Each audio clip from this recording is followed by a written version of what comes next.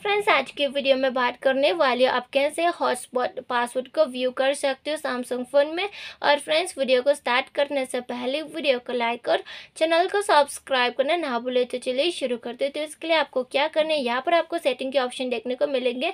तो इस पर आपको यहाँ पर सेटिंग में क्लिक करना है, ठीक है?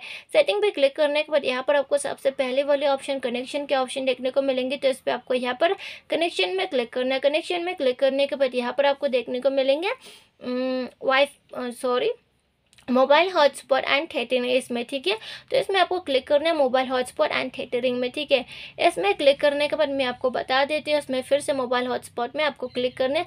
यहाँ से आप हॉटस्पॉट पासवर्ड को व्यू कर सकते हो। देखिए, नेटवर्क नेम भी आप व्यू कर सकते हो, पासवर्ड भी व्यू कर सकते बैन भी व्यू कर सकते यही नहीं, सिक्योरिटी नेटवर्क भी आप यहाँ से व्यू कर सकते हो ओके अगर आप इसको एडिट करना चाहते हो या फिर चेंज करना चाहते हो तो आपको क्या करना है? यहाँ आपको ऑप्शन देखने को मिलेंगे कॉन्फ़िगर की तो यहाँ पर आप बस क्लिक कर देना कॉन्फ़िगर में। इसमें क्लिक करने के बाद यहाँ से आप चेंज कर सकते हो, जो आप चेंज करना चाहते हो। नया वाला सेट करना चाहते हो तो यहाँ से आप सेट कर सकते हो। अगर आप पासवर्ड भी चेंज करना चाहते हो तो यहाँ से आप पासवर्ड भी चेंज कर सकते हो, ठीक है? तो यहाँ से मैंने पासवर्ड चेंज करने के लिए यहाँ एटलीस्ट एट करेक्टर तो होनी चाहिए। अब देखिए बैन भी है सिक्योरिटी भी मैंने बताई थी सिक्योरिटी है ना? तो यहाँ से आप सब कुछ एडिट कर सकते हो। जो आप चेंज करना चाहते हो, यहाँ से आप चेंज कर सकते हो।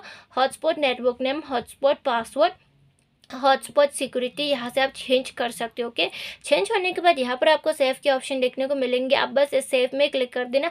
उसके बाद जो भी आपने सेव की थी ना, वो अभी सेव हो जाएँगे। देखिए, ठीक है? यहाँ से आप सेव ऐसे कर सकते हो।